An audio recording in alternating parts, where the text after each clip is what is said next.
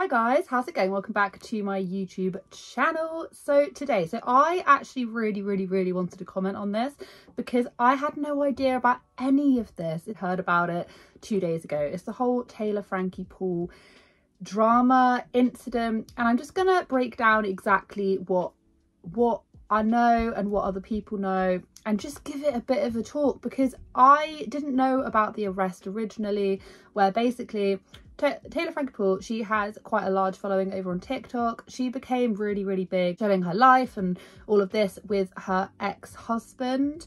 Now, her ex-husband called Tate is somewhat crucial to this little part of the story, or at least he is sort of relevant. But basically, they were Mormon swingers and they were Mormon light swingers, of what I know. I basically found this out in the Daily Mail original or was it the original article? Anyway, I'll put it up here. You don't engage in the full act, if you know what I mean. And apparently she went too far and they basically split up. And I'm sure there's a lot more to that story, but in a complete nutshell, she's carried on doing TikToks, all of this kind of stuff. I didn't watch her before, so I can't really tell you the, the, the whole depth of what these TikToks entail. Point to make as well is that her and her ex have two kids together. So she very quickly, just a few months after that, got with Dakota, who is the new guy who isn't who is involved in the story.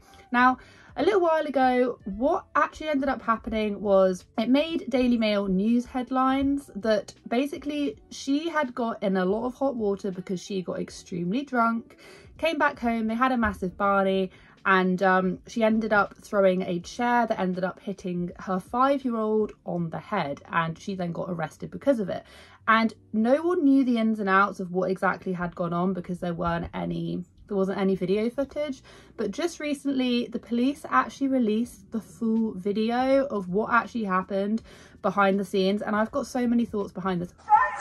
Stop! Hey, what's going on? Oh my gosh. Nothing. She's hammered. First off, she was extremely intoxicated, like extremely intoxicated. I did actually find a video on TikTok, which I'll play for you right now, where she was basically explaining how her last husband was completely teetotal and she had to ask him if she could actually drink towards the end of their marriage because he was really against it, but she didn't drink for the longest time. And I'm not saying this is like an excuse, um, but I'm just saying that if she had gone such a long time without drinking, then it's no wonder why all of a sudden she's literally getting blackout and like spinning out. Like she may have quit drinking as well because it didn't it didn't go with her like it didn't vibe with her body at all. Because you know some people just are not meant to drink any alcohol. It just sends them off the deep end. Well that could play a part in it but i did find that quite interesting. Been wanting to drink and drinking was a, an issue between tate and i because he was like absolutely no. That was like a no for him. So i you know was clean for most of our marriage. And at the very end i started to ask like I just want to be free. Like, can I have a drink here and there? And he was like, sure. So he let me have that. She literally had to like ask her ex-husband for permission to drink.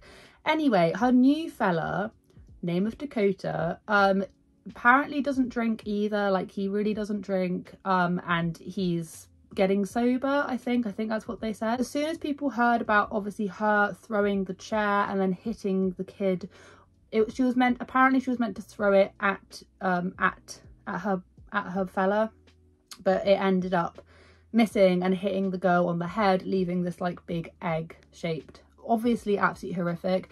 And the thing is, is that I'm not quite sure why, what was going through her head for her to be doing that around the kids. Apparently she was coming in um, and she was meant to be going to a concert. She was at a friend's party and then Dakota was meant to be going to a concert and then she, Frankie then said, oh, oh yeah, I'll come along with you. But when he then picked her up, apparently she was just in absolutely no fit state of mind to actually go to this thing. So they ended up coming back home and that is when she absolutely freaked out. She started chucking things, she started attacking him. He then had to basically barricade her in the garage to stop it from happening and then eventually the neighbours um, rang the police and the police then turned up. The neighbours called in saying they heard a bunch of yelling and Sorry. And he was going to a concert but he was like, we're not going to concert now. And he came home and and then we're fighting. So interesting about this is that they're taking two different statements. So they're taking one statement from um, taking one statement from Frankie and then, then taking another statement from Dakota, but they're both obviously separating them so that there does there isn't any more hubbub happening between them both. And um, the like she is absolutely out of it. She's slurring her words. She even said that she wet herself because she was so scared. She admits that she was fighting back in retaliation, but apparently um, Dakota had hit her or was trying to attack or something a bit like that. Now, I don't actually think there was, if I remember correctly, on Dakota's story, he was basically just saying that the the whole the, the whole thing was mad and that she was solely attacking him. She he did actually get his phone out and there's bits in it where he was actually giving footage because he actually started recording her when she was doing all of this crazy stuff and he then showed it to the police as evidence and then the arrests were made and things now we haven't actually seen that footage adding alcohol to that, just like tonight for a prime example, like just explodes. Is this all from tonight? Yeah, dude. I mean, uh, bro, I can't even tell you the stuff that just happened. Hit me in the side. She was launching those metal chairs at me. Left and right. I mean, put holes in the wall. Like, I was like, I was actually a little bit scared for my life there. And her daughter's right there on the couch. So I'm freaking out about that. One of the chairs did hit her a little bit. and I'm pretty sure that all of the bits they're blacking out and things, maybe that's just like the state of the house or whatnot. But he gave evidence, and then at the very end, he did he acted surprised about the fact that she was then going to be arrested, um, which was you know, and the thing is, right, a lot of people are actually saying. A lot of people are actually saying that, that that they're getting weird red flags from Dakota just based on how he was in the um how he was in the audio how he didn't really act upset about the whole thing he was like willingly giving evidence and then acted a bit surprised that she'd be taken away he was questioning whether or not this would make the news and things or whatever because she's famous If I see any sort of signs of violence, that I have to act. Yeah. Um, I mean, like, I even did get, like, I tried to film some of it just because it was, like, she was just so bad. Yeah, I'm gonna send Like- you. I'm gonna send like- you a link. Um, I, I'm gonna send you a link that I, I'm gonna need you to upload that. I mean, is this going on, uh, on record? It has to go to court.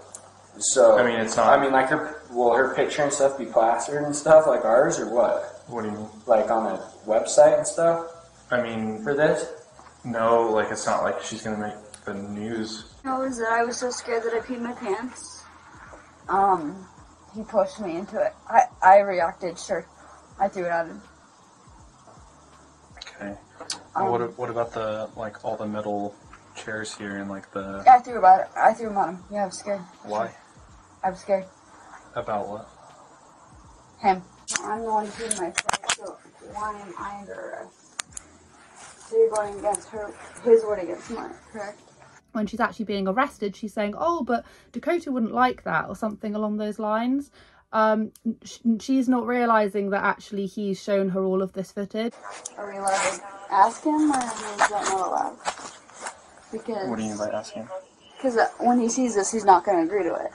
So there, there's actually believe it or not even though she has literally caused harm to a five-year-old which is absolutely traumatic and horrible there are people which are saying that it's a massive red flag from dakota's half from dakota's side of the coin i'm not sure why the kids were awake i'm not sure why why he didn't get her out of the house sooner. He is literally going around screaming, and bearing in mind the children witnessed all of this. All of this was witnessed, and it's so, so, so sad because growing up in that kind of environment, seeing your own mum act like that, and then actually get like, it's weird. It's so horrible to even perceive that kind of thing happening. What is even worse about this whole thing is that they are literally carrying on as if absolutely nothing has happened.